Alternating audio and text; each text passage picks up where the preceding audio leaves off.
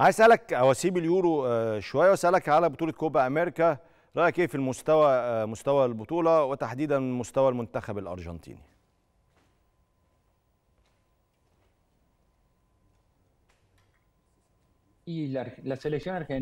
المنتخب الأرجنتيني يمر. بفترة طيبة للغاية منذ ثلاث أو أربع سنوات المنتخب.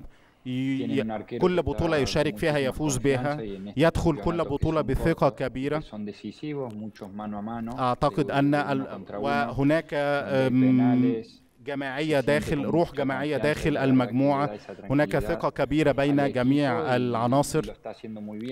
وهو يظهر بشكل طيب للغاية ليس الأفضل. ولكن هي النسخة الأفضل من الأرجنتين منذ سنوات عديدة وأعتقد أنه بهذه الخطوات يستطيع أن يمر إلى الدور النهائي أيضا. المنتخب الأرجنتيني يحاول أن يفرض أسلوبه في جميع المباريات التي يلعبها. في السابق كان هناك فوارق عديدة بين المنتخبات. كنا نرى البرازيل الأرجنتين كولومبيا. ولكن في الوقت الحالي الأمور تغيرت.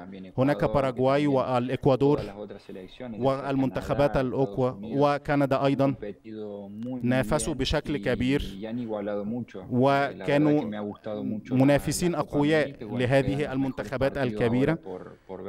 وأعتقد أننا سنرى مباريات أفضل في الأدوار القادمة. اسالك عن فريقك الأشهر باريس سان جيرمان ماذا عن باريس سان جيرمان ما بعد رحيل كيليان مبابي من وجهة نظرك؟